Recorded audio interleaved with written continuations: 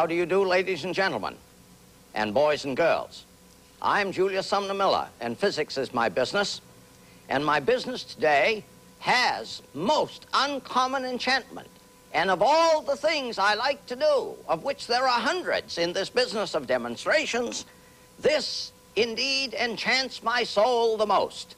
It has to do with the principle of Bernoulli. Bernoulli. B-E-R-N-O-U-L-L-I.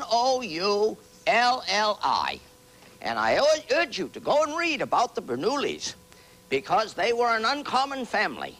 A 120 of them, all geniuses, unlike anything in the history of the humankind. The best that we've ever had are the Bachs in music, and there were only at most 24 of those. But can you imagine over a 100 people named Bernoulli, all geniuses, not one an ordinary man? Now I will recite to you quickly and passingly the principles lying herein these demonstrations, which you can read about in your books. First, we learn from Bernoulli that when a moving fluid like air encounters a constriction, that is a narrow space, the velocity increases. So as we say, the velocity is increased in a constriction. One other principle emerges from a study of Bernoulli, and that is that the pressure in a constriction diminishes, diminishes, or goes down. So we have these two principles. Velocity increases, pressure diminishes in a constriction. And now I'm going to show you an abundance, an array of experiments, demonstrations that reveal this. Consider the following. Why an airplane can fly, says Bernoulli. He explains why. Why a ball can be thrown in a curve. Why a chimney has a good draft. Why a bird can soar. Uh, why a boomerang, uh, whatever it does, boomerangs.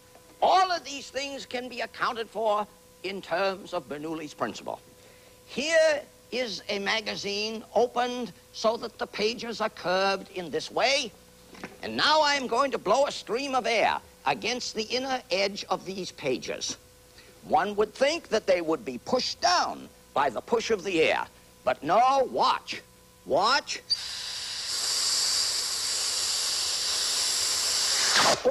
Well, the page was lifted up. There it is. Now, that airplane wing has some flutter, which we don't want, of course, in a real airplane wing. But the air going over the top gave rise to a diminution in pressure, and the atmosphere below lifted the page up. Consider another of the same. Here are two spheres, two croquet balls, with a little separation between them, and this region is a constriction. I'm going to blow some air through there. One would think impulsively that the spheres will be blown apart. No, they are not. The pressure will be reduced and the atmosphere will push them together. Watch it. There they are, pushed together by the greater atmospheric pressure on the outside. Now, of what consequence is this? Well, very important indeed, because if two ships pass, let us say, two ships passing on the sea, if they pass too close to one another, the pressure is reduced between them and they could be made to collide and, and, and break apart. Here is another, very dramatic, my chimney effect. Here I have a chimney. You remember a requirement of our work together is imagination. So I could, of course, draw the picture of my house and my chimney, and there's the fireplace in my house. Now, why does my chimney have a good draft? It has a good draft if there is a stout wind blowing across the top of the chimney. Why? Because high velocity, diminution in pressure, the atmosphere, atmospheric pressure pushes the smoke up the chimney. I'm going to prove that. Here is my fireplace. My fireplace is a vessel with some puffed rice. Here is the chimney. I'm going to blow a sharp stream of air across the top. The pressure will be reduced here in this region. The reduction in pressure will be felt in the tube, and the atmosphere will push it up. Watch it. There it is. My chimney has an extraordinarily good draft. Watch it. There it is. I say that's a terrific chimney. Now, here's one that's even better still. Here's a funnel. And I'm going to put some puffed rice in that funnel. And then I'm going to blow some air through that funnel just to show you that air is blowing out of that funnel. Watch it now. Whoop. Oh, well, of course, there it is. Sure, the puffed rice couldn't have come out unless I blew it out. Now I'm going to put a ping pong ball in there. There it is. Now I'm going to blow that ping pong ball out.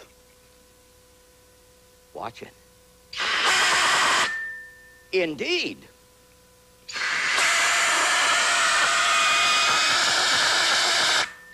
Somebody says, oh, he's got it stuck in there by magnets or something. No, no. I will dispose of it as quickly as I can with the following remark. Here it is. Here it is. Here is the funnel. There is the ball. Here is the air.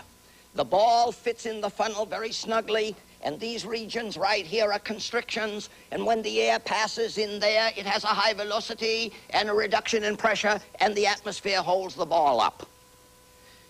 Indeed, this principle of Bernoulli is why an atomizer works. You know what an atomizer is. An atomizer is a tube that resides in a vessel, and here is some liquid, and here is a tube across here, and here is a bulb, and you squeeze the bulb, air rushes across, there is a reduction in pressure, the atmosphere pushes the liquid up, and then the liquid is caught in the airstream and comes out there.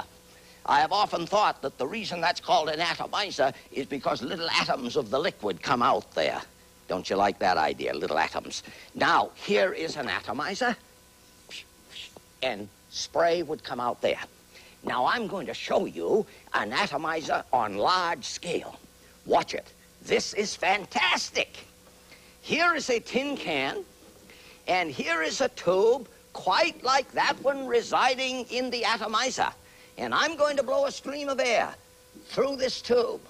There will be a reduction of pressure in the tin can, and now what will the atmosphere do if the can has less pressure inside? The atmosphere will collapse it because it is enormously strong. Watch it. Watch. There it is. There it is. I tell you, that's terrific. It's so terrific, I'm going to do it again with another one. There's another one. Yeah, why? Well, if I like it, I'm going to do it twice. I may do it three, four times. Watch it. Oh, look at that. Well, that's two times, and I'm going to do it once more. Once more. Why? Because I like it. Watch. Whoop, whoop. Oh, oh, well, there it is. Notice, notice, there it is. Wait. There it is. There it is. And I tell you, that's terrific. That's fantastic. Now, pressure reduced in a constriction, velocity increased. Consider a consequence. Flag. The United States flag, Australian flag. Why does a flag flutter? Bernoulli. Have you not heard sometimes your Venetian blinds chatter? Bernoulli. The air blowing across the top of the shutter gives rise to a reduction in pressure. The shutter is lifted up. Now, because of its springiness and its inertia, it falls back, and so it oscillates. And I'll tell you how powerful an instrument Bernoulli's principle is. Some years ago, a bridge way up in northern Washington collapsed because of the effect of Bernoulli's principle, because of the role Bernoulli played. Now we got something wonderful. Terrific. Oh, why is it terrific? Because you would not believe it. Here it is. Supposing I had a tube and I drove a stream of air up here and I had a ball right at the top, vertically above the blowing air. You would say if the ball stays there, it's because the air pushes up and the ball pushes down, and when they are equal, the ball stays there. And that would be correct. But now supposing I turned the tube off the vertical, and the ball still stayed there. Well, you can't say that anymore because when the ball receives the air that way, there is a component that way and a component that way. That one may hold up the ball, but this one should drive it away. But I'm going to show you that it doesn't. Watch it.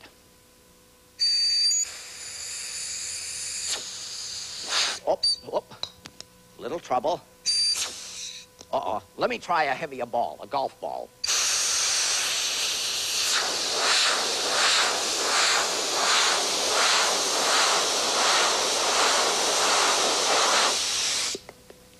And I call to your attention a very significant feature of this. The ball was spinning.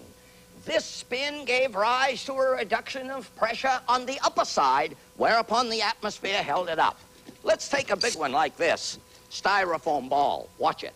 I hope we have air enough. Watch.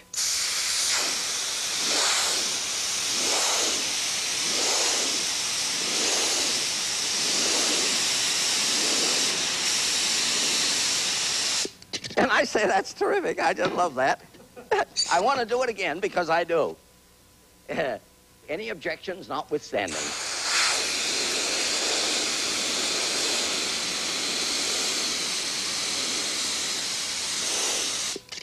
Question, could I get that ball on the horizontal? That's a good one to explore. Indeed, you can do this by going to your gasoline station and using the air hose at your service station. Uh, let me do it again with a golf ball, which is quite heavy. Golf ball, quite heavy. Oops, little trouble.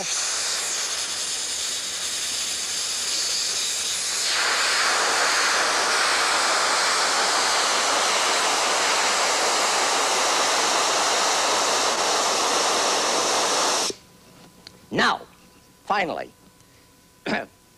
since I enjoy, as you know, the physics in toys, here is a wonderful demonstration of Bernoulli. Here is a little toy car. Here is a little toy car. And what am I doing? I am storing some energy in a wound-up spring, and when I release the spring, it unwinds and turns a fan, and there is a stream of air emerging from here. I'm going to show you that there is. Watch it. There's a little polystyrene ball. There it is. Now remember, I can put that off the vertical. Watch it. There it is. Now what I'm going to do should be an enchantment for ages 4 to 94, as all the physics that we do should be. Watch it now. Watch. Oh, isn't that something?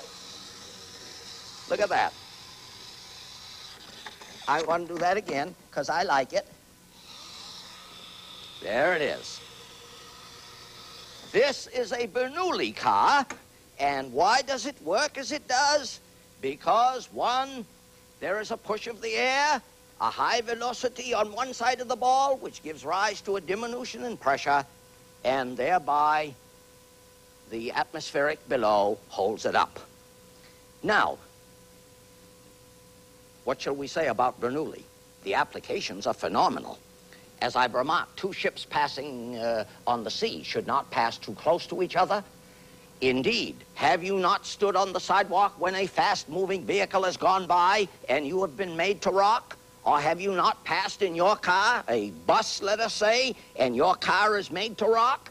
This is a consequence of the reduction in pressure between the vehicles, whereupon the atmosphere on the outside pushes them together. Indeed, when the Japanese designed their most recently uh, accomplished railroad from Osaka to Tokyo, where the trains go about 120 miles an hour, what was the critical thing? Several. One, the center of gravity idea. Number two, how close can the cars be without the effect of Bernoulli? And so I say, read about the Bernoullis. They are wonderful to know about. And I thank you for your attention.